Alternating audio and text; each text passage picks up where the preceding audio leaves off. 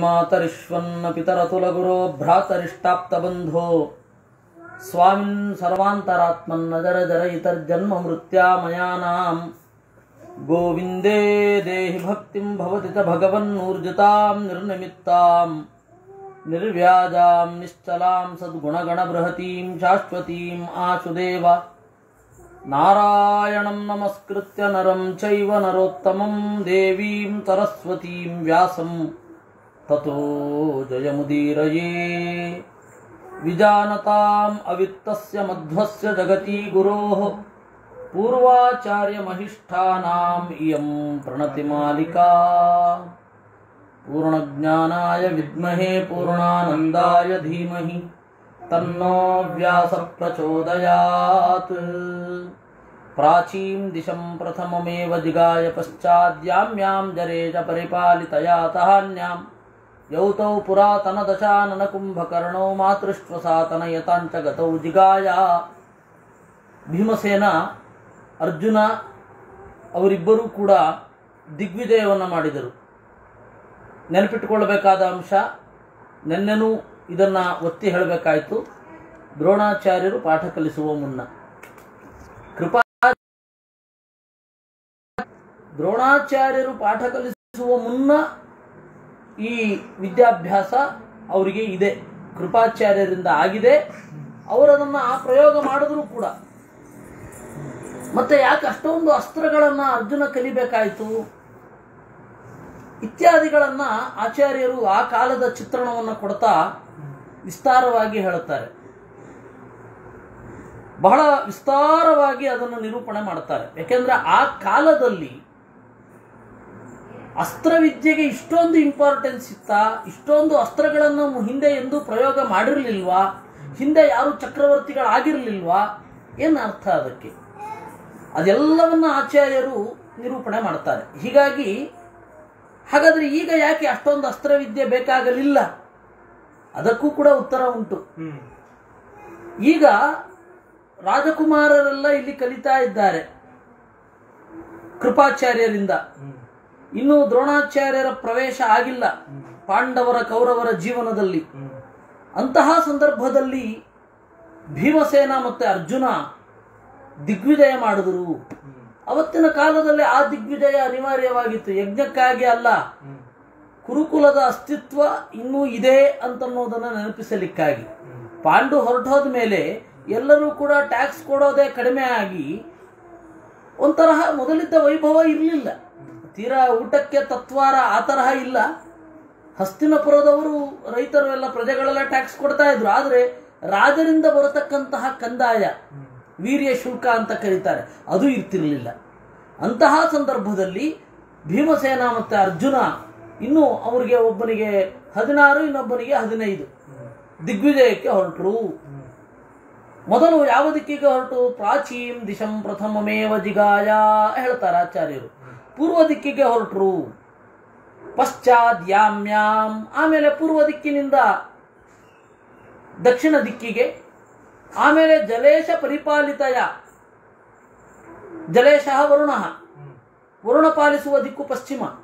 ಅದರ ಜೊತೆಗೆ ಅನ್ಯಾಂ ಉತ್ತರ ದಿಕ್ಕನ್ನು ಕೂಡ ಈ ರೀತಿ ಗೆದ್ದುಕೊಂಡು ಬಂದರು. ಮೊದಲು ಅವರು ತಾಗಿದ್ದು ಯಾರು ಅಂತಂದ್ರೆ ಮಾತೃಶ್ವಸಾತನಯತಾಂ. ಗತವು ಚಿಕ್ಕಮ್ಮನ ಮಕ್ಕಳನ್ನೇ ಮೊದಲು ಗೆದ್ದಿದ್ದಂತೆ. ಯಾರವರು ಚಿಕ್ಕಮ್ಮನ ಮಕ್ಕಳು? ಪುರಾತನ ದಶಾನನ ಕುಂಭಕರ್ಣ. ಒಂದು ಕಾಲದಲ್ಲಿ ರಾವಣ ಕುಂಭಕರ್ಣರಾಗಿ ಮೆರೆದವರು. ಪೂರ್ವಸ್ತಯೋರ್ಹಿ ಘೋಷ ಸುತ ಪ್ರಜಾತಃ ಪ್ರಾಹುಶ್ಚ ಯನ್ರಪತಯಶ್ಚಿಶುಪಾಲ ನಾಂನ ಅನ್ಯೇ ವದಂತಿ ಚ ಕರುಷ ನೃಪಂ ತಥಾನ್ಯ ಮಾತೃಶ್ವಸಾತನಯತಾಮೇವ. ಮಾತೃಶ್ವಸಾತನಯಮೇವ ಚ ದಂತವಕ್ರಂ ಪೂರ್ವ ಅವರಿಬ್ಬರಲ್ಲಿ ಮೊದಲಿಗ ಅಂದರೆ ಯಾರನ್ನ ಜಯ ಅಂತ ಕರೀತಾರೆ ಯಾರು ಮೊದಲು ರಾವಣನಾಗಿದ್ದನೋ ಯಾರು ಹಿರಣ್ಯಕಶಿಪು ಆಗಿದ್ನೋ ಅವನೇ ದಮಘೋಷ ಸುತಃ ದಮಘೋಷನ ಮಗನಾಗಿ ಇದ್ದ. ಅವನನ್ನ ಎಲ್ಲರೂ ಪ್ರೀತಿಯಿಂದ ಶಿಶುಪಾಲ ಅಂತ ಕರಿತಾ ಇದ್ರಂತೆ. ಅವನ ರಿಯಲ್ ನೇಮ್ ವಾಸ್ ಸುನೀತ ಅವನ ನಿಜವಾದ ಹೆಸರು ಸುನೀತ ಅಂತ ಅವರ ಅಪ್ಪ ಇಟ್ಟದ್ದು. ಆದ್ರೆ ಎಲ್ಲರೂ ಪ್ರೀತಿಯಿಂದ ಚಿಕ್ಕ ರಾಜ ಅಂತ ಕರೆಯಲ್ವಾ? ಹಾಗೆ ಶಿಶು ಮತ್ತೆ ಪಾಲ. ಶಿಶುಪಾಲ ಹಾಗೆ ಕರಿತಾ ಇದ್ರು. ಶಿಶುಪಾಲ ನಾಮ್ನ ಪ್ರಾಹು ಅನ್ಯಂ ವದಂತಿ. ಇನ್ನೊಬ್ಬನನ್ನು ಕರಿತಾ ಇದ್ರು ಕರುಷ ದೇಶದ ಒಡೆಯ. ಅವನು ಮಾತೃಶ್ವಸಾತನಯಮೇವ. ಇನ್ನೊಬ್ಬ ಚಿಕ್ಕಮ್ಮನ ಮಗ, ಅವನ ಹೆಸರು ದಂತವಕ್ರ ಅಂತ. ಅದರಲ್ಲಿ ಕುಂಭಕರ್ಣ ಕರುಷ ಆದ. ರಾವಣ ಶಿಶುಪಾಲ ಆದ. ಇವರಿಬ್ಬರೂ ಕೂಡ ವಸ್ತುತಃ ಚಿಕ್ಕಮ್ಮ ಚಿಕ್ಕಮ್ಮನ ಮಕ್ಕಳು. ಆದರೆ ಕುಂತಿಗಿಂತ ಬಹಳ ದೊಡ್ಡ ಮಕ್ಕಳು ಇದ್ರು ತಂಗಿಯರಿಗೆ. ಅಕ್ಕ ಕುಂತಿ ವಸ್ತುತಃ ಒಬ್ಬಳು ಅಕ್ಕ ಒಬ್ಬಳು ತಂಗಿ. ಇದರಲ್ಲಿ ಶಿಶುಪಾಲನ ಮಗಳನ್ನ ದೇವಕಿಯನ್ನ ಧರ್ಮರಾಜ ಮದುವೆ ಆಗ್ತಾನೆ. ಬಹಳ ದೊಡ್ಡವರು. ಬಹಳ ವಯಸ್ಸಾಗಿತ್ತು ಅವರಿಗೆ. ಕೃಷ್ಣನಿಗಿಂತೆಲ್ಲ ಬಹಳ ದೊಡ್ಡವರು. ಶಿಶುಪಾಲ ದಂತವಕ್ರರು ಧರ್ಮರಾಜನಿಗಿಂತಲೂ ದೊಡ್ಡವರು.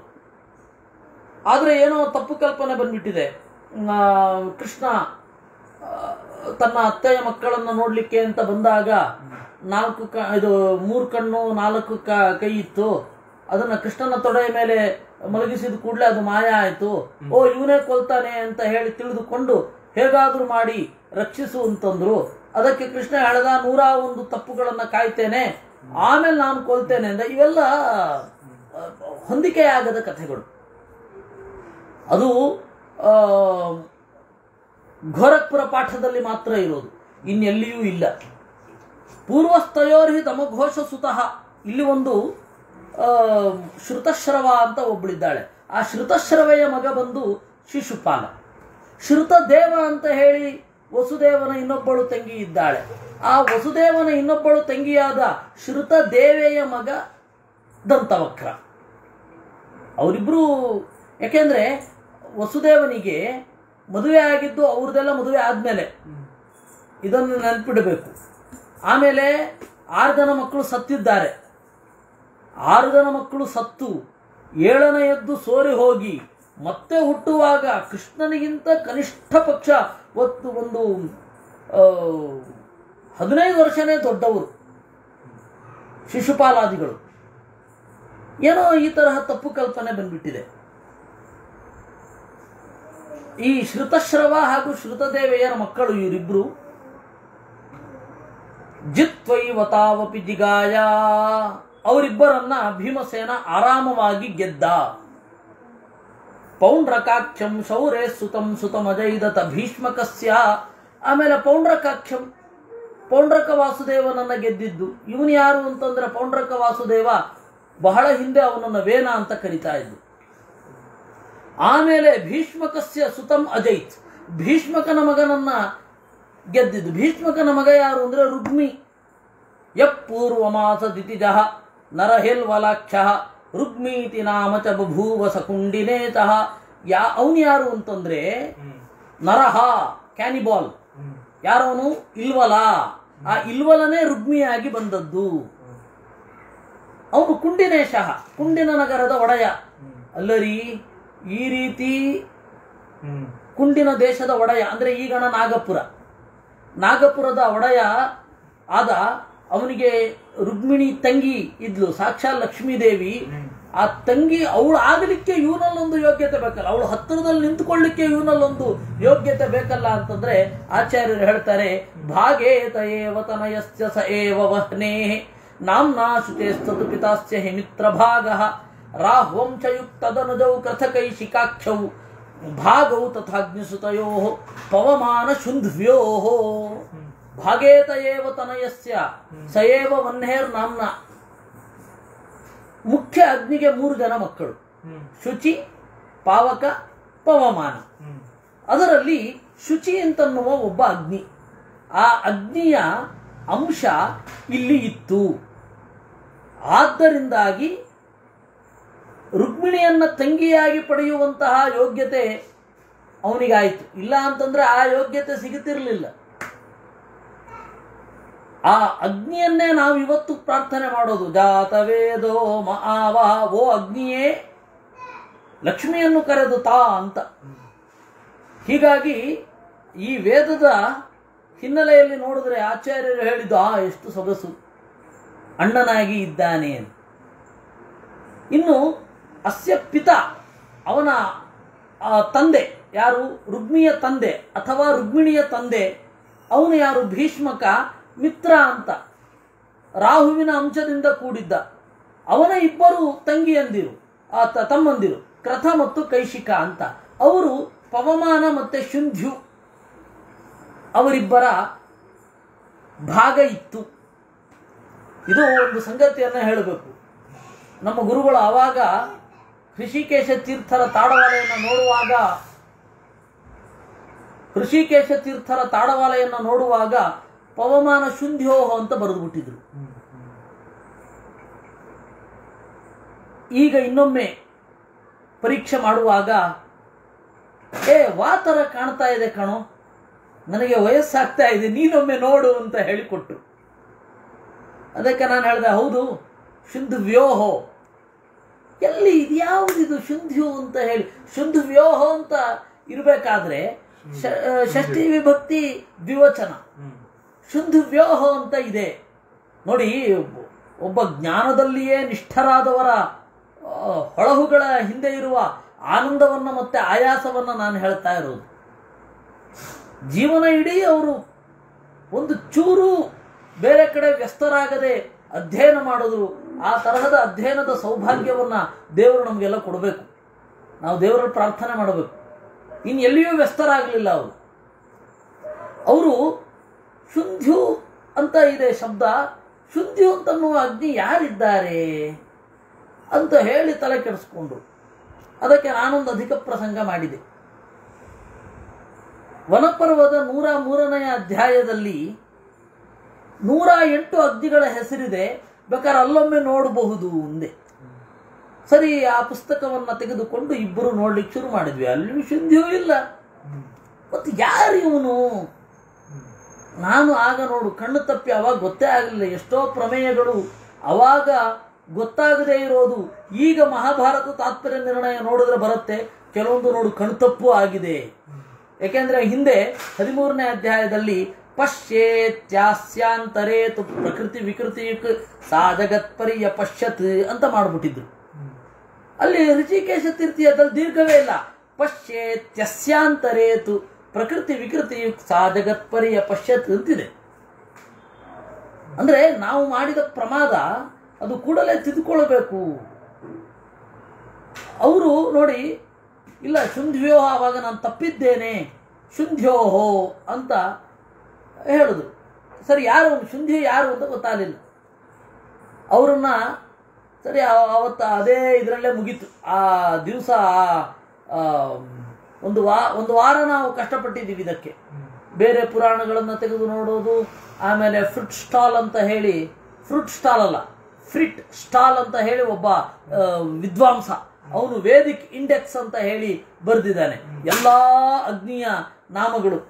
ಅಗ್ನಿಯ ನಾಮಗಳನ್ನೆಲ್ಲ ಒಂದು ಕಡೆ ನಾಲ್ಕೂ ವೇದದಲ್ಲಿ ಏನೇನು ಅಗ್ನಿ ಶಬ್ದ ಬಂದಿದೆ, ಎಲ್ಲದರ ಅಗ್ನಿ, ಇಂದ್ರ, ವರುಣ, ವಾಯು ಹೀಗೆ ನಾಲ್ಕು ದೇವತೆಗಳದ್ದನ್ನ ತೆಗೆದಿದ್ದಾನೆ ನಾವು ಅಲ್ಲಿಯೂ ನೋಡಿದ್ವಿ ಅಲ್ಲಿಯೂ ಸಿಗಲಿಲ್ಲ. ಸರಿ, ಬೇರೆ ನಾನು ಇದಕ್ಕೇನಾದರೂ ಒಂದು, ಇದು ಆಗದೆ ಮುಂದೆ ಹೋಗೋ ಹಾಗಿಲ್ಲ.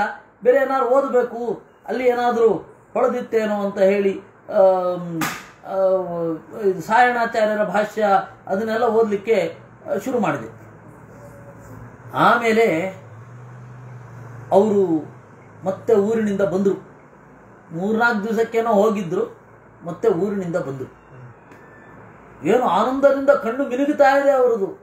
ಏ, ಅದು ಏನು ಗೊತ್ತೇನೋ? ಏನು? ಅದು ಶುದ್ಧಿ ಶಬ್ದ ನೋಡು. ಆಚಾರ್ಯರು ಒಬ್ಬರೇ ಅದನ್ನು ಪ್ರಯೋಗ ಮಾಡಿದ್ದು. ಇನ್ನೊಬ್ಬ ದಂಡನಾಥ ನಾರಾಯಣ ಅಂತ ಅವನೊಬ್ಬ ಪ್ರಯೋಗ ಮಾಡಿದ್ದಾನೆ. ಆಚಾರ್ಯರೊಬ್ಬರು ಪ್ರಯೋಗ ಮಾಡಿದ್ದಾರೆ. ಅದು ಇರೋದು ಜನಿ ಮನಿ ಯಜಿ ಶುಂಧಿ ದಸಿಭ್ಯೋ ಯುಸ್ ಅಂತ ಹೇಳಿ ಭೋಜ. ಭೋಜ ಅವನೊಂದು ಕಾಶಿಕಾ ವೃತ್ತಿಯನ್ನ, ಇದು ಸಾರಿ ಉಣಾದಿ ವೃತ್ತಿಯನ್ನ ಬರೆದಿದ್ದಾನೆ. ನೋಡಿ, ಜನಿ ಅನ್ನೋದರ ಮೇಲೆ ಯುಸ್ ಪ್ರತ್ಯಯ ಬಂದು ಜನ್ಯು ಅಂತ ಆಗತ್ತೆ. ಜನ್ಯು ಅಂದ್ರೆ ಹುಟ್ಟುವಿಕೆ ಅಂತ. ಮನಿ ಧಾತುವಿನ ಮೇಲೆ ಬಂದಿರುವಂತಹ ಯುಸ್ಪ್ರತ್ಯಯ ಮನ್ಯು ಅಂತ ಆಗತ್ತೆ. ಯಜಿ ಧಾತುವಿನ ಮೇಲೆ ಬಂದ ಯುಸ್ಪ್ರತ್ಯಯ ಯಜ್ಜು ಅಂತ ಆಗತ್ತೆ. ದಸಿ ಧಾತುವಿನ ಮೇಲೆ ಬಂದಿರುವ ಯುಸ್ಪ್ರತ್ಯಯ ದಸ್ಯು, ಕಳ್ಳ ಅಂತ ಆಗತ್ತೆ. ಶುದ್ಧಿ ಧಾತುವಿನ ಮೇಲೆ ಬಂದರೆ ಶುದ್ಧಿ ಆಗಬೇಕು. ಸರಿ ಈ ಶುದ್ಧಿಯು ಯಾರು? ಇದು ರೂಪ ಗೊತ್ತಾಯ್ತು. ವ್ಯಾಕರಣದ ಪ್ರಕಾರ ಗ್ರಾಮ್ಯಾಟಿಕಲಿ ನಮಗೆ ಕರೆಕ್ಷನ್ ಆಯಿತು. ಆದರೆ ಶುದ್ಧಿಯು ಯಾರು? ಹೌದು ಶುದ್ಧಿ ಧಾತು. ಯಾಕೆ ಅಂತ ಹೇಳಿದ್ರೆ ಶುದ್ಧಿ ಅಂದರೆ ಪಾವಕ. ಅಗ್ನಿಗೆ ಮೂರು ಜನ ಮಕ್ಕಳು. ಪ್ರಧಾನ ಅಗ್ನಿಗೆ ಯಾರು ವಾಗಭಿಮಾನಿಯೋ ಅವನಿಗೆ ಮೂರು ಜನ ಮಕ್ಕಳು. ಶುಚಿ ಪಾವಕ ಪವಮಾನ ಅಂತ. ಅದರಲ್ಲಿ ಪಾವಕನನ್ನ ಶುದ್ಧಿಯು ಅಂತ ಹೇಳಿ ಕರೆದದ್ದು. ಸರಿಯಾಯ್ತು ಶುಚಿ ಪಾವಕ ಪವಮಾನ. ಕ್ರಥ ಪವಮಾನನ ಅಂಶವನ್ನು ಒಳಗೊಂಡಿದ್ದಾನೆ. ಪವಮಾನನೇ ಅವನು. ಇನ್ನು ಕೈಶಿಕ ಶುಂಧ್ಯು ಅಂದ್ರೆ ಪಾವಕ. ಇನ್ನು ಇವನಿದ್ದಾನಿಲ್ಲ. ಭೀಷ್ಮಕ ರುಕ್ಮಿಣಿಯ ಅಪ್ಪ ಅವನು ಮಿತ್ರಾವರುಣ ಅಂತ ಆದಿತ್ಯರಲ್ಲಿ ಬರ್ತಾರಲ್ಲ ಮಿತ್ರ ಅವನು ಭಾಗ. ಈ ರುಕ್ಮಿಯಲ್ಲಿ ಶುಚಿಯ ಅಂಶ ಇದೆ ರುಗ್ಮಿಯಲ್ಲಿ ವಸ್ತುತಃ ಅವನು ಇಲ್ಲವಲ್ಲ. ಯಾರು ಅಗಸ್ತ್ಯರ ಶಾಪಕ್ಕೆ ಈಡಾದರೋ ಅಂತಹ ಇಲ್ಲವಲ್ಲ. ಹೀಗೆ ಮೂರು ಅಗ್ನಿಗಳು ಅಲ್ಲಿ ನೆಲೆಗೊಂಡಿವೆ. ರುಗ್ಮಿಯ, ರುಗ್ಮಿಣಿಯ ಸುತ್ತಲೂ ಕೂಡ ಮೂರು ಅಗ್ನಿಗಳಿವೆ. ನೋಡಿ, ನಾವು ಇತಿಹಾಸದಿಂದ ವೇದವನ್ನು ಅರ್ಥ ಮಾಡಿಕೊಳ್ಳುವ ಹಾಗಾಯ್ತು. ಜಾತವೇದೋ ಮಹಾವಹ. ಎಲ್ಲ ಕಡೆ ಅಗ್ನಿಯ ಸಾಹಚರ್ಯ ಇದೆ. ಸೀತಾ ಮಾತೆಯ ಜೀವನದಲ್ಲಿಯೂ ಅಗ್ನಿಯ ಸಾಹಚರ್ಯ. ಹಾಗೆ ಇಲ್ಲಿಯೂ ಕೂಡ ಅಗ್ನಿಯ ಸಾಹಚರ್ಯ. ರುಗ್ಮಿಣಿಯಾಗಿದ್ದಾಗಲೂ ಕೂಡ. ವೇದದ ವ್ಯಾಖ್ಯಾನವೂ ಆಯಿತು. ವೇದದ ಈ ಇತಿಹಾಸ ಪುರಾಣಗಳನ್ನು ವೇದದಿಂದ ಉಪಬ್ರಹ್ಮಣ ಮಾಡ್ಕೊಳ್ಬೇಕು, ಅಂದ್ರೆ ವಿಸ್ತಾರ ಮಾಡ್ಕೊಳ್ಬೇಕು. ಹೀಗೂ ಆಯಿತು. ಎರಡನ್ನು ಬಹಳ ಸೀರಿಯಸ್ ಆಗಿ ತಗೊಳ್ಬೇಕು. ಆ ಇತಿಹಾಸ ಪುರಾಣಾಭ್ಯಾಂ ವೇದಂ ಸುಮುಪ ಬ್ರಹ್ಮಯೇತಂತ ಏನೊಂದು ಮಾತಿದೆಯಲ್ಲ, ಅದನ್ನು ಬಹಳ ಸೀರಿಯಸ್ ಆಗಿ ತಗೊಳ್ಬೇಕು. ಬಂಧೋರ್ ನಿಜಸ್ಯತ ಬಲಂ ಸುಪರೀಕ್ಷ ಅವರಿಬ್ಬರು ಕೂಡ ಸೋತರು. ಹೀಗೆ ಅವರು ಕೂಡ ಸೋತು. ಇನ್ನು ಶಲ್ಯ ಕೂಡ ದಾಳಿ ಮಾಡಿದನಂತೆ. ಬಂಧೋರ್ ನಿಜಸ್ಯದು ಬಲಂ ಸುಪರೀಕ್ಷಮಾಣ ಶಲ್ಯೋಪಿತೇನ ಯುಧೆ ವಿಜಿತಸ್ತಥೈವ ಭೀಮೋ ಜಿಗಾಯ ಯುಧಿ ವೀರಮಥೈ ಕಲವ್ಯಂ ಸರ್ವೇ ನೃಪಾಶ್ಚ ವಿಜಿತ ಮುನೈವಮೇವ ತನ್ನ ಬಂಧು ಒಂದು ರೀತಿಯಲ್ಲಿ ತನ್ನ ಹೆಂಡತಿಯ ಸವತಿಯು, ತನ್ನ ತಂಗಿಯ ಸವತಿಯೂ ಕೂಡ ತಂಗಿಯೇ, ಅಂದರೆ ಕುಂತಿ. ಕುಂತಿಯ ಮಗ ತನ್ನ ತಂಗಿಯ ಮಗನಿದ್ದಂತೆ. ಅವನ ಬಲವನ್ನು ಪರೀಕ್ಷೆ ಮಾಡೋಣ ಅಂತ ಭೀಮಸೇನನ ಬಲವನ್ನ ಶಲ್ಯ ಪರೀಕ್ಷೆ ಮಾಡಲಿಕ್ಕೆ ಹೋಗಿ ಯುದ್ಧ ಮಾಡಿದ ಸೋತ. ಪ್ರೀತಿಯಿಂದ ಕಪ್ಪ ಕಾಣಿಕೆಗಳನ್ನು ಕೊಟ್ಟು ಕಳುಹಿಸಿದ. ಆಮೇಲೆ ಏಕಲವ್ಯನನ್ನ ಗೆದ್ದ. ಹೀಗೆ ಸರ್ವೇ ನೃಪಾಶ್ಚ ವಿಜಿತ ಅಮುನಾ ಏವಮೇವ ಹೀಗೆಯೇ ಎಲ್ಲ ದೊರೆಗಳು ಕೂಡ ಸೋತರು ತದ್ಬಾಹು ವೀರ್ಯ ಪರಿಪಾಲಿತ ಇಂದ್ರಸೂನು ಶೇಷಾನ್ ನೃಪಾಂಶ್ಚ ಸಮಜೈದ್ ಬಲವಾನ ಯತ್ನಾತ್. ಸಾಲ್ವಂಚ ಹಂತಡಿ ಚ ವಿಜಿತ್ಯ ಭೀಮೋ ನಾಗಾಹೋಯಂ ಪುರಮಗಾತ್. ಸಹಿತೋರ್ಜುನೇನ ತದ್ಬಾಹು ವೀರ್ಯ ಪರಿಪಾಲಿತ ಇಂದ್ರಸೂನು ಅವನ ಪರಾಕ್ರಮದಿಂದ ಪಾಲಿತನಾದ ಅರ್ಜುನ ಎಲ್ಲರನ್ನ ಗೆದ್ದ. ಅರ್ಜುನ ಹೀಗೆ ಗೆಲ್ಬೇಕಾದ್ರೆ ಇನ್ನು ಭೀಮಸೇನ? ಎಷ್ಟು ಆರಾಮವಾಗಿ ಗೆದ್ದಿರಬೇಡ. ಸಾಲ್ವನನ್ನು ಗೆದ್ದ ಹಂಸ ಡಿಭಕರನ್ನು ಗೆದ್ದ. ನಾಗಾಹೋಯಂ ಪುರಮಗ ಸಹಿತೋರ್ಜುನೇನ ಅರ್ಜುನನಿಂದ ಕೂಡಿಕೊಂಡು ಬಂದ. ಇದನ್ನ ದುರ್ಯೋಧನನು ಕೂಡ ಸರಿಯಾಗಿ ಗುರುತಿಸಿದ್ದಾನೆ. ಅವನು ಹೇಳ್ತಾನೆ, ಅಜೇಯೋ ಹಿ ಅರ್ಜುನ ಸಂಖ್ಯೆ ಪೃಷ್ಠಗೋಪೆ ವೃಕೋದರೆ. ಪೃಷ್ಠಗೋಪೆ ವೃಕೋದರೆ. ಹಿಂದೆ ಭೀಮಸೇನ ಇದ್ರೆ ಅರ್ಜುನ ಅಜೇಯ ಅಂತ. ಹೀಗೆ ಭೀಮನ ದಿಗ್ವಿಜಯ ಆಯಿತು.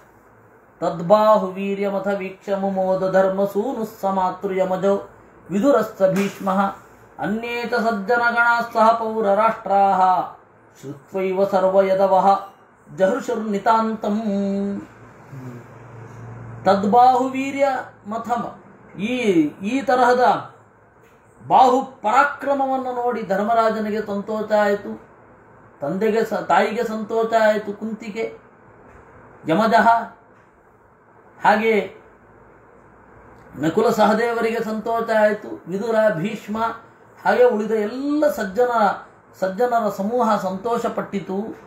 ಸರ್ವ ಯದವಹ, ಎಲ್ಲ ಯಾದವರಿಗೆ ಇದು ವಿಷಯ ಗೊತ್ತಾಯಿತು. ಅವರು ಕೂಡ ಬಹಳ ಸಂತೋಷಪಟ್ಟರು ಇಷ್ಟು ಹೊತ್ತಿಗೆ ಇಂಟೆಲಿಜೆನ್ಸ್ ರಿಪೋರ್ಟ್ ಬರ್ಲಿಕ್ಕೆ ಶುರು ಆಯಿತು ಕೃಷ್ಣನಿಗೆ. ನಿನ್ನ ಅತ್ತೆಯ ಮಕ್ಕಳು ಪಾಂಡವರು ದುರ್ಯೋಧನನ ಮನೆಯಲ್ಲಿ ಸುಖವಾಗಿ ಇಲ್ಲ. ಅವರಿಗೆ ಪಕ್ಷಪಾತ ಆಗ್ತಾ ಇದೆ. ತನ್ನ ತಮ್ಮನ ಮಗ ಅನ್ನೋದನ್ನು ಮರೆತು ನಿಷ್ಕರುಣವಾಗಿ ವರ್ತನೆ ಮಾಡ್ತಾ ಇದ್ದಾನೆ ಧೃತರಾಷ್ಟ್ರ. ಒಬ್ಬ ಹಿರಿಯ ನಡೆದುಕೊಳ್ಳುವ ರೀತಿ ಅಲ್ಲ ಅದು. ಅಂತೆಲ್ಲ ಬಂತು. ಕೃಷ್ಣ ಸುಯೋಧನ ಮುಖಾಕ್ರಮ ಮಾಂಬಿಕೇಯಂ. ಜಾನನ್ ಸ್ವಪುತ್ರ ವಶವರ್ತಿನಮೇವ ಗತ್ವ ಸ್ವಾಫಲ್ಕಿನೋ ಗೃಹ ಮುಮುಂ ಧೃತರಾಷ್ಟ್ರ ಶಾಂತ್ಯೈ. ಗಂತುಂ ದಿದೇತ ಗಜನಾಮ ಪುರಂ ಪರೇತಃ. ಸೀದ ಕೃಷ್ಣ ಅಕ್ರೂರನ ಮನೆಗೆ ಹೋದ ಅಂತೆ. ನೋಡಿ ಗಮನಿಸಬೇಕಾದದ್ದು, ಅಕ್ರೂರನ ಮನೆಗೆ ಹೋದ. ಯಾರು? ಶ್ರೀಕೃಷ್ಣ. ಯಾಕೆಂದ್ರೆ ರಾಜ ಅಲ್ಲ. ರಾಜ ಆಗಿದ್ರೆ ಅಕ್ರೂರ ಬಾ ಅಂತ ಹೇಳಿ ಕಳಿಸ್ಬೇಕಿತ್ತು. ಔಚಿತ್ಯಪೂರ್ಣವಾದ ನಡೆ ನೋಡಿ ಶ್ರೀಕೃಷ್ಣನದ್ದು ಅಕ್ರೂರನ ಮನೆಗೆ ಹೋಗಿ ಯಾಕೆಂದ್ರೆ ಇದು ಪ್ರೈವೇಟ್, ರಾಷ್ಟ್ರಕ್ಕೆ ಸಂಬಂಧಪಟ್ಟಿದ್ದಲ್ಲ. ಮುಂದೆ ಅದು ರಾಷ್ಟ್ರಕ್ಕೆ ಉಪಯೋಗ ಆಗಬಹುದು. ಯಾಕೆಂದರೆ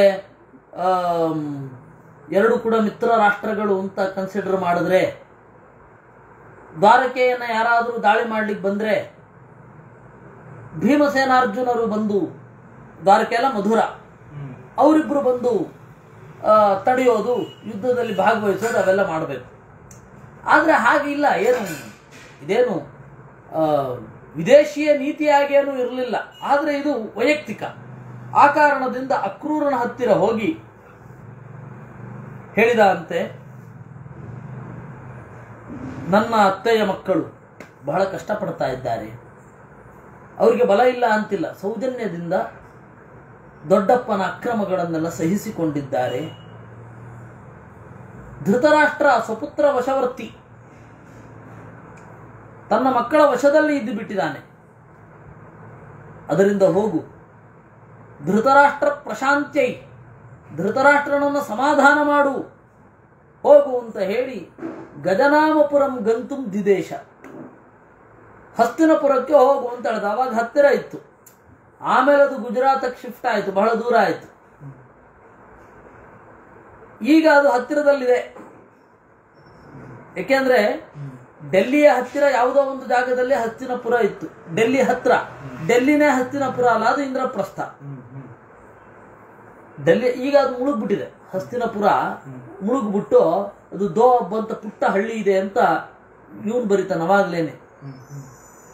ಯಾರು? ಒಂದೊಂದು ಪುಸ್ತಕವೇ ಇದೆ. Ptolemy India as described as Ptolemy ಅಂತ ಹೇಳಿ ಮಹಾಭಾರತದ ಭೂಗೋಳದ ಬಗೆಗೇನೆ ಅದೊಂದು ಪುಸ್ತಕ ಇದೆ. ಹೀಗಾಗಿ ಅಲ್ಲಿ ದೋಪ್ ಅಂತ ಹೇಳಿ ಒಂದು ಪುಟ್ಟ ಗ್ರಾಮ ಇದೆ. ಅದು ಬಿಟ್ಟು ಇನ್ನೇನು ಇಲ್ಲ. ಇಂದ್ರಪ್ರಸ್ಥ, ಡೆಲ್ಲಿ. ಅದರಿಂದಾಗಿ ಹತ್ತಿರ ಮಧುರ ಅವಾಗ ಮಧುರಾದಲ್ಲೇ ಇದ್ದದ್ದು. ಇನ್ನು ಮಧುರಾನ ವೆಕೇಟ್ ಮಾಡಿರಲಿಲ್ಲ. ಅದು ಇವ್ಯಾಕ್ಯೂಟಿಂಗ್ ಪ್ರೊಸೆಸ್ ಬಹಳ ದೊಡ್ಡದು. ಅದಕ್ಕೂ ಬಹಳ ದೊಡ್ಡ ನೀತಿ ಇದೆ ಬಹಳ ದೊಡ್ಡ ಪ್ರಿಪರೇಷನ್ ಇದೆ ಅದಕ್ಕೆ ದೊಡ್ಡ ಕಾರಣಗಳಿದೆ. ಅಲಾಫೆ ಸಡನ್ ಯಾವುದೂ ಆಗಲಿಲ್ವಲ್ಲ ಅದರಿಂದಾಗಿ ಹತ್ತಿರ ಇದ್ರು. ಹತ್ತಿರ ಇದೆ ಅಂತ ಹೇಳಿ ಕಳಿಸಿದ. ಅಕ್ರೂರನನ್ನ. ಸೋಯಾದ್ ಗಜಾಹ್ವಯಮಮುತ್ರ ವಿಚಿತ್ರ ವೀರ್ಯ ಪುತ್ರೇಣ ಭೀಷ್ಮ ಸಹಿತೈ ಕುರುಭಿಃ ಸಮಸ್ತೈ ಸಂಪೂಜಿತ ಕತಿಪಯಾನ್ ಅವಸಚ್ಚ ಮಾಸಾನ್ ಜ್ಞಾತುಂಚ ಪಾಂಡುಚು ಮನ ಪ್ರಸೃತಿಂ ಕುರೂಣಾಂ. ಸೋಯಾದ್ ಗಜಾಹ್ವಯಂ ಅವನು ಹಸ್ತಿನಪುರಕ್ಕೆ ಹೋದ. ಒಂದು ಒಳ್ಳೆಯ ರಾಷ್ಟ್ರದ ಪ್ರತಿನಿಧಿ. ಮತ್ತೆ ಬಂಧುಗಳು. ಯಾದವರು ಹೇಗೆ ಬಂಧುಗಳು ಅಂತ ಹೇಳಿದ್ರೆ ಒಂದೇ ಮೂಲದಿಂದ ಬಂದವರಲ್ವಾ ಇಬ್ರು? ದೊಡ್ಡ ಮಗ, ಯಯಾತಿಯ ದೊಡ್ಡ ಮಗ ಯದುವಿನ ಮಕ್ಕಳು ಯಾದವರು? ಯದುವಿನ ಸಂತತಿಯಲ್ಲಿ ಬಂದವರು. ಯಯಾತಿಯ ಕಡೆಯ ಮಗ ಪೂರ್ವಿನ ವಂಶದಲ್ಲಿ ಬಂದವರು ಕುರುಗಳು. ಹೀಗಾಗಿ ಒಂದೇ ಮೂಲ, ಮತ್ತೆ ಆ ಒಂದು ಬಾಂಧವ್ಯ ರಿಲೇಶನ್ಶಿಪ್ ಇನ್ನೂ ಚೆನ್ನಾಗೇ ಇತ್ತು. ಆ ಕಾರಣದಿಂದ ಅವಾಗವಾಗ ಶಿಥಿಲ ಆಗ್ತಾ ಇದ್ರು, ಮತ್ತೆ ಗಟ್ಟಿ ಆಗ್ತಾ ಇತ್ತು. ಕಾಲಕ್ರಮದಲ್ಲಿ ಬಂದ ಇವನು, ನೋಡ್ಲಿಕ್ಕೆ ಅಂತ. ಹಾಗೆ ನೋಡ್ಲಿಕ್ಕೆ ಅಂತ ಬಂದಾಗ ಆದರದಿಂದ ಸ್ವಾಗತ ಮಾಡಿದ್ರು, ಕತಿಪಯಾನ್ ಅವಸಚ್ಚ ಮಾಸಾನ್ ಕೆಲವು ತಿಂಗಳ ಕಾಲ ವಾಸ ಮಾಡಿದ. ಯಾಕೆ ಅಂದ್ರೆ, ಬಹಳ ತಿಂಗಳ ಕಾಲ ವಾಸ ಮಾಡದೆ ಹೋದ್ರೆ ಏನೊಂದು ಗೊತ್ತಾಗಲ್ಲ. ಎರಡು ಮೂರು ದಿವಸದಲ್ಲಿ ಅದು ಒಂದು ವರದಿ ಬರ್ಕೊಡೋದು, ಒಂದು ವಾರದಲ್ಲಿ ವರದಿ ಬರ್ಕೊಡೋದು ಅಂದ್ರೆ ಅದು ಸರ್ಕಾರ ನೇಮಿಸುವ ಆಯೋಗಗಳೇ. ಸರ್ಕಾರ ಒಂದು ಆಯೋಗವನ್ನು ರಚನೆ ಮಾಡುತ್ತೆ, ನಿವೃತ್ತ ನ್ಯಾಯಮೂರ್ತಿಗಳದ್ದು. ಲಿಬರಹಾನ್ ಕಮಿಷನ್ ಅಂತೆ ಅದಂತೆ, ಇದಂತೆ ಸಾವಿರಾರು ಕಮಿಷನ್ಗಳು ಯಾವ ಪ್ರಯೋಜನವೂ ಇಲ್ಲ. ಸರ್ಕಾರದ ಆತಿಥ್ಯದಲ್ಲೇ ಇರ್ತಾರೆ, ಅದಕ್ಕೆ ನಿಷ್ಠುರವಾಗಿ ವಿರೋಧವನ್ನು ಹಿಂಗೆ ಬರೀಲಿಕ್ಕಾಗತ್ತೆ. ಅಲ್ವಾ? ಆಗೋದೇ ಹಾಗೆ. ಅದರಿಂದಾಗಿ ಹಾಗಲ್ಲ ಅದು. ಅವನು ಸೀದಾ ಹೋದ. ಕೆಲವು ತಿಂಗಳ ಕಾಲ ವಾಸ ಮಾಡಿದ. ಅವಾಗ ಕೆಲವು ತಿಂಗಳ ಕಾಲ ವಾಸ ಮಾಡಿದ್ರೆ ಮೊದಲು ಮೊದಲು ತೋರಿಕೆ ಮಾಡಬಹುದು ಎಷ್ಟು ದಿವಸ ಮುಚ್ಚಿಡ್ತಾರೆ. ಒಬ್ಬನ ಸ್ವಭಾವವನ್ನ ಎಷ್ಟು ದಿವಸ ಮುಚ್ಚಿಡ್ಲಿಕ್ಕಾಗತ್ತೆ? ನಮ್ಮ ನಿಜವಾದ ಅಂತರಾಳವನ್ನ ನಿಮ್ಮಿಂದ ಎಷ್ಟು ದಿವಸ ಮುಚ್ಚಿಡಬಹುದು? ಒಂದು ವಾರ? ಎರಡು ವಾರ? ಮೂರನೇ ವಾರದಲ್ಲೇ ಗೊತ್ತಾಗುತ್ತೆ ಇವನು ಯಾರು ಅಂತ. ಹೀಗಾಗಿ ಬಹಳ ಕೆಲವು ತಿಂಗಳ ಕಾಲ ವಾಸ ಮಾಡಿದ ಅಂತೆ. ಜ್ಞಾತ್ವಾದ ಕುಂತಿ ವಿದುರೋಕ್ತಿತ ಆತ್ಮನಾಚ. ಮಿತ್ರಾರಿ ಮಧ್ಯಮ ಜನಾಸ್ತನ ಯೇಷು ಪಾಂಡೋ ವಿಜ್ಞಾಯ ಪುತ್ರವಶಗಂ ಧೃತರಾಷ್ಟ್ರಮಂಜ. ಸಾಮ್ನೈವ ಭೇದ ಸಹಿತೇನ ಜಗಾದ ವಿದ್ವಾನ್. ಕುಂತಿಯ ಮಾತನ್ನ ಕೇಳಿದ ಮೊದಲು ಅಕ್ರೂರ. ವಿದುರನ ಮಾತನ್ನ ಕೇಳಿದ. ಆತ್ಮನಾಚ, ತಾನೇ ತೀರ್ಮಾನ ಮಾಡಿದ. ಪಾಂಡವರ ಮಿತ್ರರು ಯಾರು? ಪಾಂಡವರ ಶತ್ರುಗಳು ಯಾರು? ನ್ಯೂಟ್ರಲ್ ಆಗಿ ಯಾರಿದ್ದಾರೆ? ಎಲ್ಲವನ್ನ ತನಗೆ ಕನ್ವಿನ್ಸ್ ಆಗುವವರೆಗೂ ಪರೀಕ್ಷೆ ಮಾಡಿದ. ಕಡೆಗೊಮ್ಮೆ ಗೊತ್ತಾಯ್ತು. ಪುತ್ರವಶಗಂ ಧೃತರಾಷ್ಟ್ರಂ. ಧೃತರಾಷ್ಟ್ರ ದುರ್ಯೋಧನನ ಕೈಗೊಂಬೆಯಾಗಿದ್ದಾನೆ. ಆ ಕಾರಣದಿಂದ ಈಗ ದಂಡವನ್ನು ಮಾಡಲಿಕ್ಕೆ ಬರೋಲ್ಲ. ಯಾಕೆಂದರೆ ಯುದ್ಧ ಮಾಡಬೇಕಾದಷ್ಟು ಉತ್ಕಟವಾದ ಪರಿಸ್ಥಿತಿಗೆ ಇನ್ನೂ ಹೋಗಿಲ್ಲ. ಅದರಿಂದಾಗಿ ನಾಲ್ಕು ಉಪಾಯಗಳಲ್ಲಿ ಎರಡು ಉಪಾಯವನ್ನು ಮಾಡಿದ ಅಂತ, ಒಂದು ಸಾಮ, ಇನ್ನೊಂದು ಭೇದ. ಎರಡನ್ನೂ ಪ್ರಯೋಗ ಮಾಡಿದ. ಏನಂತ? ಪುತ್ರೇಶು ಪಾಂಡುತನಯೇಶು ಚ ಸಾಮ್ಯ ವೃತ್ತಿ ಕೀರ್ತಿಂಚ ಧರ್ಮ ಮುರುಮೇಶು ತಥಾರ್ಥ ಕಾಮೌ ಪ್ರೀತಿಂ ಪರಾಂ ತ್ವಯಿ ಕರಿಷ್ಯತಿ ವಾತು ದೇವ ಸಾಕಂ ಸಮಸ್ತ ಯದುಭಿ, ಸಹಿತ ಸುರಾದ್ಯೈ ಪುತ್ರೇಶು ಪಾಂಡುತನಯೇಶು, ನಿನ್ನ ಮಕ್ಕಳಲ್ಲಿ ಮತ್ತೆ ನಿನ್ನ ತಮ್ಮನ ಮಕ್ಕಳಾದ ಪಾಂಡವರಲ್ಲಿ ಸಮಾನವಾಗಿ ನಡ್ಕೋ. ನಿನ್ನ ಮಕ್ಕಳನ್ನ ಧಿಕ್ಕರಿಸು, ತಿರಸ್ಕರಿಸು ಅಂತ ಹೇಳ್ತಾ ಇಲ್ಲ. ಗುಣ ಎಲ್ಲಿದೆಯೋ ಅಲ್ಲಿ ಬೆಲೆ ಕೊಡು. ಆವಾಗ ಇದ್ರೆ ಕೀರ್ತಿಂ ಏಷಿ, ಒಳ್ಳೆಯ ಕೀರ್ತಿ ನಿನಗೆ ಸಿಗುತ್ತೆ. ಧರ್ಮಂ ಉರುಂ ಏಷಿ, ಒಳ್ಳೆಯ ಪುಣ್ಯ ಬರುತ್ತೆ. ತಥಾ ಅರ್ಥಕಾಮು, ಈ ಲೋಕದಲ್ಲಿ ನಿನಗೆ ಬೇಕಾದ ಸಂಪತ್ತು ಸಿಗತ್ತೆ. ಪಾಂಡವರು ನಿನ್ನ ಜೊತೆಗೆ ಇದ್ದಾರೆ, ಪಾಂಡವರ ಜೊತೆಗೆ ಯಾದವರು ಇದ್ದಾರೆ ಅಂತಂದ್ರೆ ಏನು ಬೇಕಾದರೂ ಮಾಡಬಹುದು ನಿನ್ನ ಬಯಕೆಗಳು ಏನಿದೆ, ಯೋಗ್ಯವಾಗಿದ್ದರೆ ಕಾಮ, ಅದೆಲ್ಲವೂ ಈಡೇರುತ್ತೆ. ಎಲ್ಲಕ್ಕಿಂತ ಮಿಗಿಲಾಗಿ ಪ್ರೀತಿಂ ಪರಾಂ ತ್ವಯಿ ಕರಿಷ್ಯತಿ ವಾಸುದೇವ. ದೇವರ ಅನುಗ್ರಹ ಸಿಗತ್ತೆ. ಇನ್ನೇನು ಬೇಕು ನಿನಗೆ? ದೇವರ ಅನುಗ್ರಹ ಸಿಕ್ಕಿದ್ರೆ ಹೌದು, ಧರ್ಮಾರ್ಥ ಕಾಮ ಸಹಿತಾಂಚ ವಿಮುಕ್ತಿ ಮೇಷಿ. ಈ ಲೋಕದಲ್ಲಿ ಒಳ್ಳೆಯ ಗತಿ, ಒಳ್ಳೆಯ ಪ್ರಾಪ್ತಿ, ಒಳ್ಳೆಯ ಸಂಪತ್ತು ಎಲ್ಲ ಸಿಗತ್ತೆ. ಆ ಲೋಕದಲ್ಲಿ ಧರ್ಮಾರ್ಥ ಕಾಮ ಹಿತಾಂತ ವಿಮುಕ್ತಿ ಮೇಷಿ. ಧರ್ಮ, ಅರ್ಥ, ಕಾಮ ಇದರಿಂದ ಕೂಡಿದ ಮುಕ್ತಿ ಸಿಗತ್ತೆ. ತತ್ ಪ್ರೀತಿ ತಸ್ಸುನಿಯತಂ ವಿಪರೀತ ವೃತ್ತಿ ಯಾಸಿ. ಇದಕ್ಕೆ ತಪ್ಪಿ ನಡೆದರೆ ಕೆಟ್ಟ ಗತಿ ಆಗುತ್ತೆ. ಈ ಲೋಕದಲ್ಲಿ ಅಪಕೀರ್ತಿ. ಧರ್ಮ ಇಲ್ಲ, ಅರ್ಥ ಇಲ್ಲ, ಕಾಮ ಇಲ್ಲ. ಅದರಿಂದಾಗಿ ಆ ಲೋಕದಲ್ಲಿ ಏನೋ ಒಳ್ಳೆಯದಾಗುತ್ತೆ ಅಂದರೆ ಅದರ ಭರವಸೆಯೂ ಇಲ್ಲ. ಅಲ್ವಾ? ತತ್ ಫಲವೈಪರೀತ್ಯಮಿತ್ತಂ ಇಷ್ಟು, ಇದು ಕೃಷ್ಣನ ಮಾತು. ಸುಮಾರು ತಿಂಗಳ ಹಿಂದೆ ಬಂದದ್ದೇ ನಾನು ಇದಕ್ಕಾಗಿ. ಕೃಷ್ಣನ ಮಾತನ್ನ ಒಂದು ಚೂರು ಬದಲಿಸುವ ಅಗತ್ಯ ಇಲ್ಲದೆ ಹೇಳ್ತಾ ಇದ್ದೇನೆ. ಕೃಷ್ಣನ ಮಾತು ಏನಿದೆ ಅದನ್ನು ಬದಲಾಯಿಸಬೇಕಾ ಅಂತ ಮೂರ್ನಾಲ್ಕು ತಿಂಗಳು ಇದ್ದದ್ದು. ಕೃಷ್ಣ ಸರಿಯಾಗಿ ವಿವೇಚನೆ ಮಾಡಿದ್ದಾನೆ. ನನಗೆ ಹೇಳಿ ಕಳುಹಿಸಿದ್ದಾನೆ, ಅದು ನನ್ನ ಗಮನಕ್ಕೆ ಬಂದಿದೆ. ಇತ್ತಂ ಸಮಸ್ತ ಕುರು ಮಧ್ಯ ಉಪಾತ್ತ ವಾಕ್ಯ ರಾಜಾಪಿ ಪುತ್ರವಚಗೋ ವಚನಂ ಜಗಾದ, ಸರ್ವಂ ವಚೇ ಭಗವತೋ ನವಯಂ ಸ್ವತಂತ್ರಾ ಭೂಭಾರ ಸಂಹೃತಿ ಕೃತೆ, ಸ ಇಹಾವತೀರ್ಣ. ಈ ರೀತಿಯಾಗಿ ಎಲ್ಲರ ಸಭೆಯ ನಡುವೆ ಹೇಳಿದಾಗ, ಅವನೇನು ಹೇಳಿದಂತೆ ಗೊತ್ತಾ? ಧೃತರಾಷ್ಟ್ರ. ಸರ್ವಂ ವಶೇ ಭಗವತೋ ನವಯಂ ಸ್ವತಂತ್ರ ಎಲ್ಲ ದೇವರು ಮಾಡುತ್ತೋದು, ನಾವೇನು ಸ್ವತಂತ್ರರೇ ಅಂದ. ಭೂಭಾರ ಸಂಹೃತಿ ಕೃತೆ. ಸ ಇಹಾವತೀರ್ಣ ಭೂಭಾರವನ್ನು ಇಳುಹಲಿಕ್ಕಾಗಲ್ವಾ? ಅವನು ಅವತಾರ ಮಾಡಿರೋದು. ಆಗೋದಾದ್ರೆ ಆಗಲಿ ಬಿಡಿ, ಇಂದ. ನೋಡಿ, ವೇದಾಂತ ಈ ತರಹ ಎಸ್ಕೇಪಿಸಮ್ ಅಲ್ಲಿ ಬಳಸಬಾರದು. ನಮ್ಮ ಕರ್ತವ್ಯ ಏನಿದೆ ಅದನ್ನು ಮಾಡಬೇಕು. ಆಮೇಲೆ ದೇವರಿಗೆ ಸಮರ್ಪಣೆ ಮಾಡಬೇಕೇ ವಿನಃ. ಕರ್ತವ್ಯ ಮಾಡ್ಲಿಕ್ಕೆ ಪ್ರಯತ್ನವೇ ಪಡದೆ ದೇವರಿಗೆ ಹಾಕಬಾರದು. ಅದು ದೊಡ್ಡ ಎಸ್ಕೇಪಿಸಮ್ ಅದು. ವೇದಾಂತ ಪ್ರಯೋಜನ ಇಲ್ಲ ಅಂತ ಹೇಳಿ ಇದು ಈ ತರಹ ನೋಡಿ ಹೇಳ್ತಾರೆ. ನೋಡಿ ಎಸ್ಕೇಪಿಸಮ್ ಇದು. ನಿಮ್ಮ ವೇದಾಂತಿಗಳೆಲ್ಲ ಎಸ್ಕೇಪ್ ಆಗೋದು ಹೇಗೆ ಅಂತಲೇ ಯೋಚನೆ ಮಾಡ್ತಾ ಇರ್ತಾರೆ. ಹೀಗಾಗಿ ದೇವರ ಕರ್ತೃತ್ವವನ್ನು ಮಾಡಿದ್ದಾರೆ. ದೇವರು ಸರ್ವಕರ್ತೃ. ಅದರಲ್ಲಿ ವಿವಾದವೇ ಇಲ್ಲ. ನೀನು ಕರ್ತೃ ಅದರಲ್ಲಿ ವಿವಾದವೇ ಇಲ್ಲ. ನೀನು ಕೆಲಸ ಮಾಡಿ ದೇವರಲ್ಲಿ ಆ ಭಾವನೆಯನ್ನು ತಡೆಯಬೇಕೇ ವಿನಃ. ಕೆಲಸವೇ ಮಾಡದೆ ಪ್ರಯತ್ನವೇ ಪಡದೇನೆ. ದೇವರು ಮಾಡಿಸ್ದಾಗಲಿ ಅನ್ನುವುದಲ್ಲ. ಅದು ಮಾಡ್ಲಿಕ್ಕೆ ಮನಸ್ಸಿಲ್ಲ ಅಂತ ಅರ್ಥ. ಮಾಡಲಿಕ್ಕೆ ಮನಸ್ಸಿಲ್ಲದೆ ಹೋದರೆ ಮಾತ್ರ ಎಲ್ಲ ದೇವರು ಮಾಡಿಸಿದ್ದು ಅಂತ.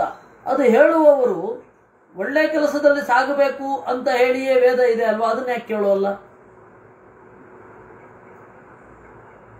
ಜೀವಕರ್ತೃತ್ವದ ಬಗ್ಗೆ ವಾದ ಮಾಡುವಾಗ ಅದರ ಬಗ್ಗೆ ತಲೆ ಕೆಡಿಸ್ಕೊಳ್ಬೇಡಿ. ಸಾಧನೆ ಮಾಡ್ತಾ ಇರಿ. ದೇವರೇನೋ ಹೊಳಿಸ್ತಾನೆ. ಮೊದಲು ರಾಮಾಯಣ ಮಹಾಭಾರತಾದಿಗಳನ್ನು ಓದಿ ಅಂತ ಹೇಳ್ಬೇಕು ಅವ್ರಿಗೆ. ಜೀವಕರ್ತೃತ್ವದ ಬಗ್ಗೆ ಅವ್ರಿಗೆ ಪ್ರಶ್ನೆ ಬರುತ್ತೆ. ಕೂಡಲೇ ಉತ್ತರ ಹೇಳಲಿಕ್ಕಾಗಲ್ಲ. ಯಾಕೆಂದರೆ ಹಿಂದೆಯೂ ಕೂಡ ಉಪನಿಷತ್ತಿನಲ್ಲೆಲ್ಲ ನೋಡಿದಾಗ ಒಂದು ವರ್ಷ ಕಾಲ ಕಾಯಿರಿ. ಆಮೇಲೆ ಹೊಳೆಯುತ್ತೆ ಅಂತ ಇವತ್ತು ಅದೇ ಉತ್ತರ ಕೊಡಬೇಕಾಗತ್ತೆ. ಹಂಗೆ ಉತ್ತರ ಕೊಟ್ರೆ ಏನಾಗತ್ತೆ? ಅವರು ಆ ಪ್ರಶ್ನೆಯನ್ನ ಚರ್ನೌಟ್ ಮಾಡ್ತಾ ಇರುವಾಗ ಅವ್ರಿಗೆ ಹೊಳೆಯುತ್ತೆ. ಇಲ್ಲ ಅಂತ ಇಟ್ಕೊಳ್ಳಿ. ಪ್ರಶ್ನೆ ಕೇಳಿ ಆಯಿತು. ಆಮೇಲೆ ಅದ್ರ ಬಗ್ಗೆ ನಾವು ಯೋಚನೆ ತಲೆ ತೆಗೆದ ಪಕ್ಕದಲ್ಲಿ ಇಟ್ಬಿಡೋದು. ಇವರು ಹೇಳಿದ ಉತ್ತರ ನಮಗೆ ಅರ್ಥ ಆಗಬೇಕು ಅಂತ ಹೇಳಿ ಹೊರಡೋದಾ? ಈ ಪ್ರಶ್ನೆ ನನಗೆ ಬಂದಿದೆ. ನನ್ನ ಒಳಗಡೆಯಿಂದ ಈ ಪ್ರಶ್ನೆ ಇದೆ. ನನಗೇ ಉತ್ತರ ಸಿಗಬೇಕು ಅಂತ ಇರಬೇಕೇ ವಿನಃ ಈ ಪ್ರಶ್ನೆ ನನಗೆ ಬಂದಿದೆ, ಉತ್ತರ ಅವ್ರು ಕೊಡಬೇಕು. ನನಗದು ಕನ್ವಿನ್ಸ್ ಆಗಬೇಕಾದ ಅಗತ್ಯವೂ ಇಲ್ಲ ಅನ್ನುವ ರೀತಿಯಲ್ಲಿ ಬಿಹೇವ್ ಮಾಡಬಾರದು. ನಮ್ಮ ಬಿಹೇವಿಯರ್ಸ್ ಆಗಿರುತ್ತೆ. ಉತ್ತರ ಕೊಡೋದು ಯಾರು? ನೀವು. ನಿಮ್ಮ ಉತ್ತರ ನಂಗೆ ಕನ್ವಿನ್ಸ್ ಆಗಬೇಕು. ಆ ಕನ್ವಿನ್ಸ್ ಮಾಡಿಸ್ಕೊಳ್ಳಿಕ್ಕೆ ತಕ್ಕ ಸಿದ್ಧತೆಗಳು ಬೇಕಾ? ಅದು ಬೇಡ. ಒಂದು ಮಳೆ ಬಂದು ಬೀಜ ಹುಟ್ಟಬೇಕು ಅಂತಂದ್ರೆ ಅದರ ಸುತ್ತಲೂ ಮಣ್ಣಿರಬೇಕು, ಸೂರ್ಯನ ಬೆಳಕು ಬೀಳಬೇಕು, ಎಲ್ಲವೂ ಅನುಕೂಲ ಆಗಿರಬೇಕು. ಆದರೆ ಮಾತ್ರ ಬೆಳೆಯೋದಲ್ವಾ? ಕಳೆಗಳೆಲ್ಲ ತೆಗೆದಿರಬೇಕು, ಬೆಳೆ ಬೆಳೆಯುತ್ತೆ. ಕೆಲವೊಮ್ಮೆ ಕಳೆಗಳಿದ್ದರೂ ಬೆಳೆಯುತ್ತೆ, ಕಳೆಗಳಿರಬೇಕು ಕೆಲವೊಮ್ಮೆ, ಅದು ಗಟ್ಟಿಯಾಗಿರುತ್ತೆ. ದೇವರು ಕಳೆಗಳನ್ನು ಸುಮ್ಮನೆ ಸೃಷ್ಟಿ ಮಾಡಿದ್ದಲ್ಲ. ಆದರೆ ನಮಗೆ ಹಾಗಿರಲ್ಲ ತಲೆನಲ್ಲಿ. ನಮಗೇನು ಅಂದರೆ ಹೀಗಿದೆ, ಹೀಗಾಗಬೇಕು. ಪ್ರಶ್ನೆ ಬಂದಿರೋದು ನನಗೆ. ನೀವು ಕೊಡೋ ಉತ್ತರ ನಂಗೆ ಕನ್ವಿನ್ಸ್ ಆಗಬೇಕು. ಇಲ್ಲ ಅಂದರೆ ಉತ್ತರವೇ ಇಲ್ಲ ಅಂತ ಅಂದುಕೊಳ್ಳೋರು ನಾವು. ಹಾಗೆ ಅಂದ್ಕೊಳ್ಬಾರದು ಉತ್ತರ ಇರುತ್ತೆ. ನಮಗದನ್ನು ಅರ್ಥ ಮಾಡಿಕೊಳ್ಳುವಂಥದ್ದಾಗಬೇಕು ಅಂತ. ಹಾಗೆ ಮುಂದುವರಿಬೇಕು. ಇದು ದುರ್ಯೋ ಧೃತರಾಷ್ಟ್ರನ ಹೇಳಿಕೆ. ಎಲ್ಲ ದೇವರೇ ಮಾಡಿಸಿದ್ದಲ್ವ? ನಾನೇನು ಹೇಳಲ್ಲ ಅಂತ. ಹಂಗೆ. ಏತನ್ನಿಶಮ್ಯ ವಚನಂ ತತು ಯಾದವೋಸ್ಯ ಜ್ಞಾತ್ವಾ ಮನೋಶ್ಚ ಕರುಷಂ ತವ ನೈವ ಪುತ್ರಾಹ. ಇತ್ಯೂಚಿವಾನ್ ಸಮ ಸಹಮರುತ್ತನಯಾರ್ಜುನಾಭ್ಯಾಂ ಪ್ರಾಯಾತ್ ಪುರೀಂ ಚ ಸಹದೇವ ಯುತಸ್ವಕೀಯಾಂ. ಏತನ್ನಿಶಮ್ಯ ಈ ಮಾತನ್ನು ಕೇಳಿದ ಕೂಡಲೇ ಅಕ್ರೂರನಿಗೆ ಗೊತ್ತಾಯಿತು. ಅಸ್ಯ ಮನಃ ಕಲುಷಮು ಜ್ಞಾತ್ವಾ. ಇವನ ಮನಸ್ಸು ವಿಪರೀತ ಕಂಟಾಮಿನೇಟೆಡ್ ಆಗಿದೆ. ಇದನ್ನು ಸರಿ ಮಾಡ್ಲಿಕ್ಕೆ ಆಗೋಲ್ಲ ಆದರೆ ಇವನು ಹೇಳಬೇಕಾದದ್ದು ಹೇಳಬೇಕು. ತವನೈವ ಪುತ್ರಾಹ. ನೋಡಪ್ಪ ನಿನ್ನ ಮಕ್ಕಳು ಉಳಿಯೋದು ಗ್ಯಾರಂಟಿ ಇಲ್ಲ. ಅಂತ ನುಡಿದು ಮರುತ್ತನಯಾರ್ಜುನಾಭ್ಯಾಮ್ ಹೊರಡಬೇಕಾದ್ರೆ ಅವನೊಬ್ಬನೇ ಹೋಗಲಿಲ್ಲ ಮಧುರೆಗೆ. ಭೀಮಸೇನ ಅರ್ಜುನ, ಸಹದೇವ ಮೂರೂ ಜನ ಮಧುರೆಗೆ ಬಂದರು. ಹಸ್ತಿನಪುರದಲ್ಲಿ ಇಬ್ಬರಿದ್ರು ಧರ್ಮರಾಜ, ನಕುಲ. ಕುಂತಿ ಇದ್ದು ಬಿಡಿ. ಹೀಗೆ ಆ ಮೂರು ಜನ ಅಲ್ಲಿದ್ರು, ಇಲ್ಲಿ ಇವರು ಬಂದರು. ಇದು ನಮಗೆ, ನಾವು ತಿಳ್ಕೊಳ್ಬೇಕಾದದ್ದೇನು ಅಂದರೆ ಮೊದಲೇನೆ ಕೃಷ್ಣ ಪಾಂಡವರಿಗೆ ಮೊದಲಾದವರಿಗೆಲ್ಲ ಭೇಟಿಯಾಗಿದೆ. ಒಮ್ಮೆಲೆ ಮೂವತ್ತನೇ ವಯಸ್ಸಿಗೆ ಭೇಟಿಯಾಗಿದ್ದಲ್ಲ. ದ್ರೌಪದಿಯ ಮದುವೆ ಆಗುವಾಗ ಧರ್ಮರಾಜನಿಗೆ ಮೂವತ್ತು. ಆಗಲೇನೆ ಕೃಷ್ಣನ ಭೇಟಿಯಾಗಿದ್ದಲ್ಲ ಅನ್ನೋದು ನಮ್ಮ ಗಮನಕ್ಕೆ ಬರಬೇಕು. ಜ್ಞಾನಂತು ಭಾಗವತ ಮುತ್ತಮ ಆತ್ಮಯೋಗ್ಯಂ ಭೀಮಾರ್ಜುನೋ ಭಗವತ ಸಮವಾಪ್ಯ ಕೃಷ್ಣಾತ್. ತತ್ರೋ ಚತುರ್ಭಗವತಾ ಯುಕ್ತ ಚೇಷ್ಟೌ ಸಂಪೂಜಿತೌ ಯದುಭಿರುತ್ತಮ ಕರ್ಮಸಾರೌ ಜ್ಞಾನಂತು ಭಾಗವತಂ ಉತ್ತಮಂ ಆತ್ಮಯೋಗ್ಯಂ. ದೇವರಿಂದ ಶಾಸ್ತ್ರೋಪದೇಶ ಆಯ್ತಂತೆ. ಭಗವತ್ ತತ್ವಜ್ಞಾನದ ಉಪದೇಶ ಆಯಿತು ದೇವರಿಂದ. ಅದನ್ನ ಇವರು ಪಡ್ಕೊಂಡ್ರು. ಅದರಿಂದಾಗಿ ಯುದ್ಧ ಅನ್ನೋದೇನಿದೆ? ಭಗವದ್ಗೀತೆ ಅನ್ನೋದೇನಿದೆ, ಅದು ಯುದ್ಧದಲ್ಲಿ ಮೂಡಿ ಬಂದದ್ದಲ್ಲ. ಯುದ್ಧದ ಹಿನ್ನೆಲೆಯಿಂದ ಮೂಡಿ ಬಂದದ್ದಲ್ಲ. ಅದಕ್ಕಿಂತ ವಿಸ್ತಾರವಾದ ಬ್ಯಾಕ್ಗ್ರೌಂಡ್ ಇದೆ. ಇವಾಗ ಕ್ರಿಶ್ಚಿಯಾನಿಟಿ ಬಂದದ್ದು ಯುದ್ಧದ ಹಿನ್ನೆಲೆಯಲ್ಲಿ. ಅದಕ್ಕೆ ಎಕ್ಸೋಡಸ್ಸಿನ ಹಿನ್ನೆಲೆ ಇದೆ. ಮೊಸಸ್ಸಿನ ಸಂಕಷ್ಟದಲ್ಲಿದ್ದಾಗ ಮೊಸಸ್ಸಿನ ಮೂಲಕ ದೈವವಾಣಿ ಮೂಡಿತು ಅಂತ ಹೇಳ್ತಾರೆ. ಅದ್ರ, ಅದರಿಂದಾಗ ಅದು ವಾರ್ ಸೆಂಟರ್ ಅಥವಾ ವಾರ್ ಬೇಸ್ಡ್ ಇನ್ನು ಖುರಾನ್, ಅದಂತೂ ವಾರ್ ಬೇಸ್ಡ್ ಅದರಲ್ಲಿ ಯಾವ ವಿವಾದ ಇಲ್ಲ. ಇನ್ನು ಅದಾದ ಮೇಲೆ ಭಗವದ್ಗೀತೆ, ಅದು ಕೂಡ ವಾರ್ ಸೆಂಟರ್ ಅಂತ ಹೇಳಿ ಬಹಳ ಜನ ಅಂದುಕೊಂಡಿದ್ದಾರೆ. ಅದೆರಡರ ಸುದ್ದಿ ಇರಲಿ, ಹಾಗಿರಲಿ, ಅದು ನಮಗೆ ಬೇಡ ಈಗ. ಭಗವದ್ಗೀತೆ ಮಾತ್ರ ಅದು ವಾರ್ ಬೇಸ್ಡ್ ಅಲ್ಲ. ಕೂಡಲೇ ಮಾಡಿದ ಅಡಿಗೆ ಅಲ್ಲ ಅದು. ಬಹಳ ಹಿಂದೆ, ಯಾವಾಗಲೂ ಇದ್ದದ್ದದು ನೋಡಿ, ಇಲ್ಲಿ ಉಪದೇಶ ಆಗಿದೆ ಭೀಮಾರ್ಜುನರಿಗೆ. ಮರ್ತಿದ್ದು ಹೇಳಿದ್ದು. ಅದಕ್ಕೆ ನಷ್ಟೋ ಮೋಹ ಸ್ಮೃತಿರ್ಲಬ್ಧ ಅಂತ ಹೇಳಿದ್ದು. ತತ್ರೋ ಚತುರ್ಭಗವತ ಸಹಯುಕ್ತ ಚೇಷ್ಟೌ, ಸಂಪೂಜಿತೌ ಯದುಭಿರುತ್ತಮ ಕರ್ಮಸಾರೌ. ಅಲ್ಲಿ ವಾಸ ಮಾಡಿದರು. ಯದುಗಳು ಅವರನ್ನು ಬಹಳ ಪ್ರೀತಿಯಿಂದ ನೋಡಿಕೊಂಡ್ರು ಅಂತ ಹೇಳ್ತಾರೆ ಅಲ್ಲಿ ಅನೇಕ ವಿದ್ಯೆಗಳನ್ನು ಅವರು ಕಲಿತಾರೆ. ಹಾಗೆ ಕಲಿತ ವಿದ್ಯೆಗಳಲ್ಲಿ ನೋಡಿದರೆ ಬಲರಾಮನಿಂದ ಭೀಮಸೇನ ಗದಾಯುದ್ಧವನ್ನು ಅಭ್ಯಾಸ ಮಾಡಿದ. ಪ್ರತ್ಯುದ್ಯಮೋ ಭಗವತಾಪಿ ಭವೇದ್ಗದಾಯಾ ಶಿಕ್ಷಾ ಯದಾ ಭಗವತಾ ನ ಚೇಮಂ ಕುರಿಯಾಮಿತಿ ಸ್ಮ ಭಗವತ್ ಸಮನುಜ್ಞಯೈವ. ರಾಮಾತ್ ಅಶಿಕ್ಷ ದುರುಗಾಯ ಪುರಸ್ಸ ಭೀಮಃ. ಪ್ರತ್ಯುದ್ಯಮೋ ಭಗವತಾಪಿ ಭವೇದ್ಗದಾಯ ಅರ್ಜುನ ಧನು, ಧನುಸ್ಸಿನಿಂದ ಅನೇಕ ವಿದ್ಯೆ, ಅನೇಕ ಅಸ್ತ್ರಗಳನ್ನು ಅಭ್ಯಾಸ ಮಾಡಿದ ಕೃಷ್ಣನಿಂದ.